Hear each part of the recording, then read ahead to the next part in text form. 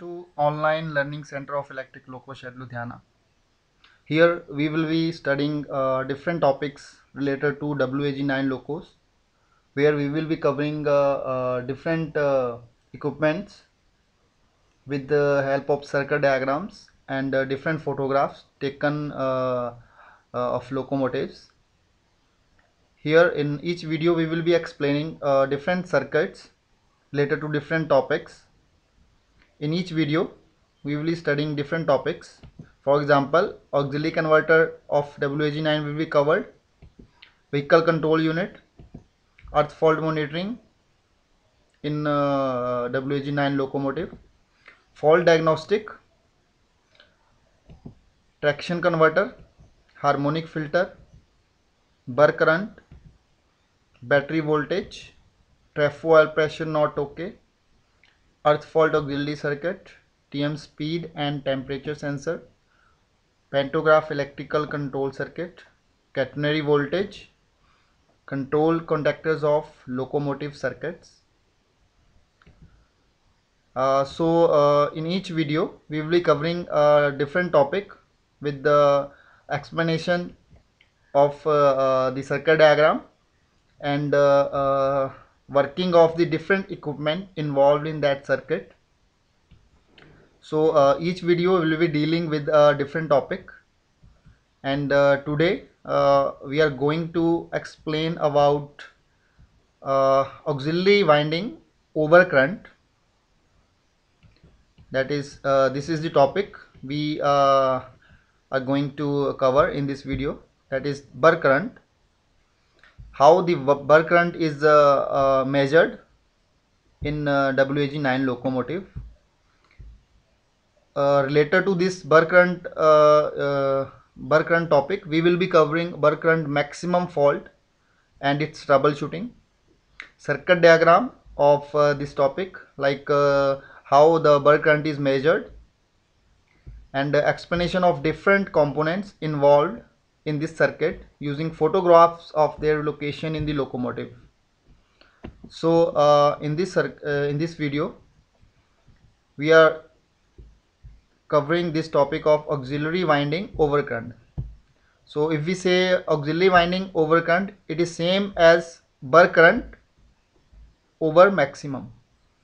So uh, this fault occurs when auxiliary winding current exceeds maximum specified limit. तो वो maximum specified limit क्या है? 400 hundred ampere का current. जब इससे ज़्यादा करंट मेजर होगा, बर का ऑक्जिली वाइंडिंग का तो दो सीटीज़ इंस्टॉल की गई है लोकोमोटिव में। ये दो CTs H B two panel में एच बी टू पैनल के नीचे है। और इन दोनों की जो मॉनिटरिंग है, इन दोनों सिटी की, ये एस आर वन और S two S R two में मॉनिटर हो रही है। तो इन सिटीज़ से एक केबल दो सिटी हैं तो दो सिटीज़ से दो डिफरेंट केबल्स जा रही हैं सबडी के थ्रू एस आर वन में और एस आर टू में। तो वो सबडी कौन कौन से हैं? चार सौ पंद्रह पॉइंट ए सी और 415 point A C by two S R two के लिए। तो फ़र्स्ट ऑफ़ ऑल ये ऑक्जिलरी वाइंडिंग ओवर करंट का मतलब है कि जो आ, मेरे मेन ट्रांसफॉर्मर में ऑक्जिलरी वाइंडिंग रहती है ऑक्सिलरी कन्वर्टर्स के लिए तो उस ऑक्सिलरी वाइंडिंग की जो आ, इनकमिंग जा रही है एच टू पैनल के अंदर, हज़ार बोल्ट की। वहाँ पे एक इन और एक आउट सीटी लगी हुई है, जिसको ये जिस, जो सीटीज़ हैं, वो ये इस करंट को मेज़र कर रही हैं। इस तरह से ये सर्किट डायग्राम है। इसमें मैंने एक ही सीटी दिखाई हुई है, forty two point three by one. By one means ये जो इसकी मॉनिटरिंग हो रही है, वो एस आर वन में हो रही है। तो ये सी टी है वो। ये ऑक्सिलरी वाइंडिंग करंट को ये L E M type L E M type एक करंट सेंसर है बेसिकली तो यहाँ से इसकी जो आउटपुट है, वो एस एल जी वन के लिए मीन्स एस आर वन के लिए थ्रू ए सी कपलर ये मॉनिटर हो रही है। तो ये लोकेशन कहाँ पे है? Location of auxiliary winding CT ये वो सिटीज़ हैं जिसकी मैं बात कर रहा हूँ। ये एच बी टू पैनल के नीचे है, इसको जूम करके यहाँ दिखाया गया है। तो ये जो दो केबल्स के बंच आ रहे हैं बेसिकली ये सीधे जो मेन ट्रांसफॉर्मर की ऑक्जिलरी वाइंडिंग है, वहाँ से ये आ रही है।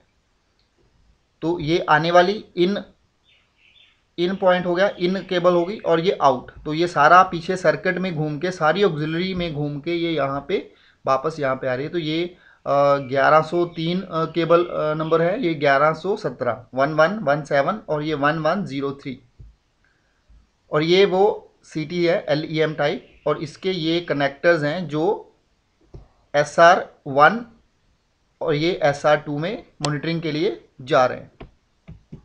जैसे मैंने ये दिखाया। तो ये वो कनेक्टर है 42.3 ए बाय वन और ये वो सब डी यहाँ पे वो सब डी है ये वाला एक्स वन नाइन ज़ीरो ये बी टी प्रपल्शन की डायग्राम है बी टी प्रपल्शन में एक्स वन नाइन ज़ीरो इन्होंने नॉमिन दिया हुआ है। अदरवाइज़ ये चार सौ पंद्रह पॉइंट ए सी है।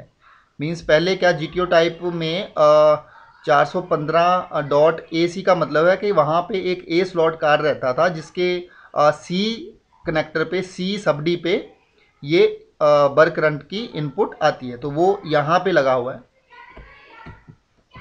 तो आ, अगर ये फॉल्ट आएगा तो हमें किस तरह से ट्रबल शूटिंग करनी है बर करंट ओवर मैक्सिमम की?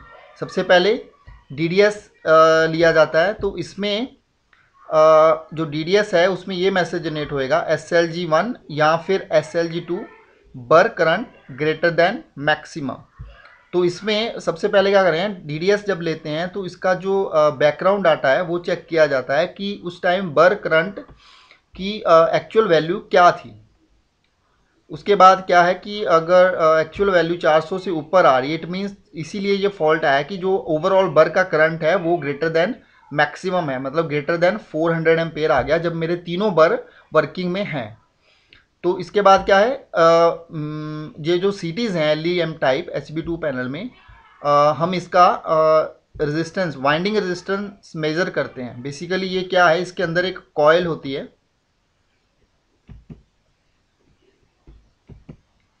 ये जो है this is nothing but a coil तो इस कॉयल का हम वाइंडिंग रेजिस्टेंस चेक कर लेते हैं। क्या ये कॉयल ओपन या शॉर्ट तो नहीं हुई है?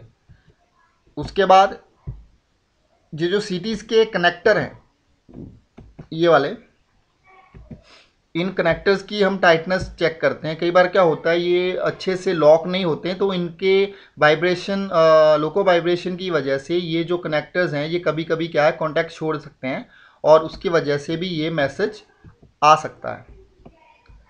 अगर एस एल जी वन या सिर्फ़ एस एल जी टू ये मैसेज रीड कर रहा है तो क्या करते हैं हम जो सी टी के कनेक्टर लगे हुए हैं उनको हम इंटरचेंज कर देते हैं। इससे क्या होगा कि हमें ये पता चल जाएगा कि आ, दो चीज़ें इससे क्लियर हो जाएँगी। अगर हम ये कनेक्टर इंटरचेंज कर देते हैं मान लीजिए कि fault S L G one read कर रहा था उसके बाद हम ये जो कनेक्टर्स हैं ये हम इंटरचेंज कर देंगे।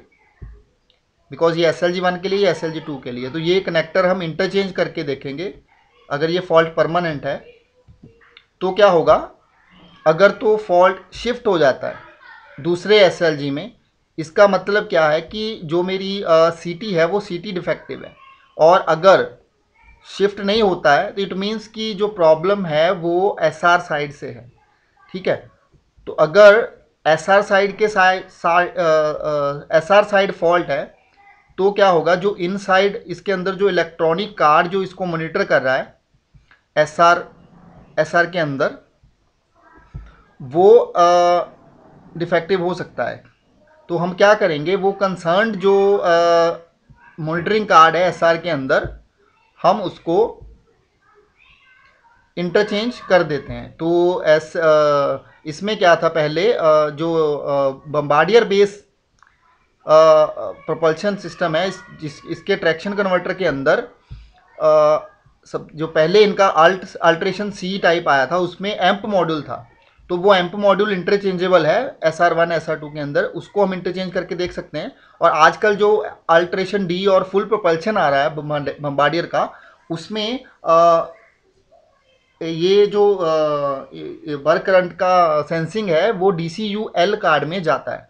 तो क्या है कि हम D C U L card को भी इंटरचेंज करके देख सकते हैं। इसके अलावा जो मॉनिटरिंग केबल है सीटी से लेके एसआर तक, वो भी डिफेक्टिव हो सकती है।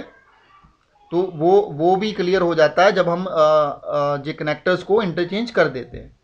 अगर ये सब करने से भी प्रॉब्लम हल नहीं होती तो जो सब डी रहता है, जिसकी हम बात कर रहे हैं, ये जो सब डी यहाँ पे दिखाए हैं हमने, ये जहाँ पे एक्स एक्स वन नाइन्टी में लगता है, यहाँ पे तो कई बार क्या होता है ये सब डी भी डिफेक्टिव हो सकता है जहाँ पे मेल फीमेल टाइप है। तो इसमें क्या होता है कि सब डी की कभी कभी क्या होती है क्या पिन जो है वो बेंड हो जाती है इनसाइड और उसको भी हम खोल के चेक कर सकते हैं। तो इस तरह से ये जो ट्रबल शूटिंग है की जाती है। अगर इन सब में से कोई भी आ, आ, करने से कुछ भी करने से हमारा इशू रिजॉल्व नहीं होता तो हमें क्या देखना पड़ता है कि जो बर है एक्चुअल में तीनों बर का भी हमें फिर बर चेक करने पड़ते हैं कि कौन सा बर क्या, कोई एक्चुअल में ज़्यादा करंट तो नहीं ड्रॉ कर रहा। तो इस तरह से इस फॉल्ट की ट्रबल शूटिंग होती है।